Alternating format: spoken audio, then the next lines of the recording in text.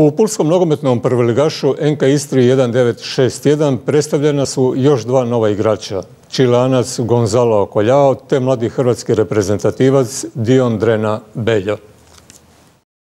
Čileanac Gonzalo Koljao, 23-godišnji je vratar koji dolazi iz Ekstremadure i za zeleno-žute je potpisao ugovor na dvije godine.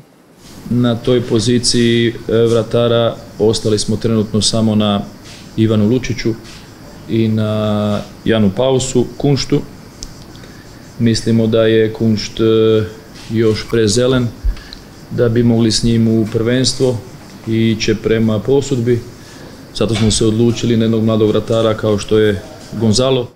Iako vratar Lučić, koji je u prošloj sezoni bio jedan od najboljih igrača zeleno-žutih, ima ugovor s Istrom na još dvije godine, sportski direktor očekuje da bi on i prije mogao napustiti Drozinu, što je i navedeno u klauzuli njegovog ugovora. Stoga je i to bio jedan od razloga dovođenja čilanskog vratara.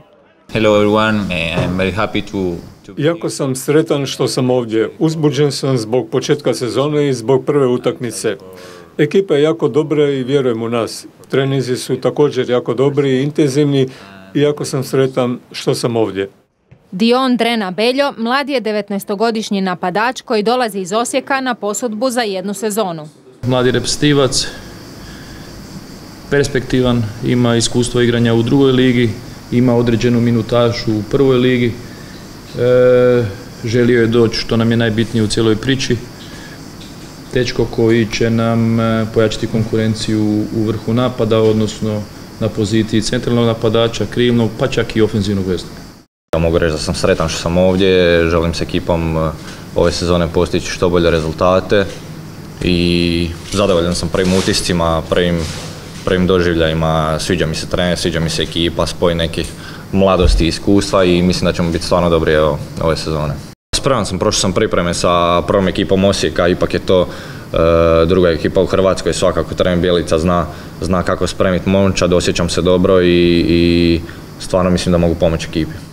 Pulskim navijačima Beljo je ostao u sjećanju s kraja prošle sezone, kada je u posljednjem prvenstvenom susretu protiv Istre zabio u 93. minuti pobjedonosni gol za Osjećane, zbog kojeg su Puljani strepili od ispadanja. Očekujući rasplet susreta u Koprivnici, gdje je Slaven na kraju ipak savladao Varaždin, koji je završio na posljednjem mjestu i ispao u drugu ligu. Malo sim, simpatična priča, ali nekako sam im preželjkivao te sezone stvarno da Istra ostane, ne znam, nekako stvarno mi je, uvijek mi bio drag klub i, i ne znam, baš mi je bilo žao eto, da, da je ispala. Do sada je uoči početka nove prvenstvene sezone, koju Puljani otvaraju u nedjelju na Drozini protiv novopečenog prvoligaša Hrvatskog dragovoljca, dovedeno deset novih igrača, a tijekom srpnja i kolovoza, dok traje prijelazni rok, prema riječima sportskog direktora planira se dovođenje još dva krilna i jednog centralnog napadača te jednog ofenzivnog.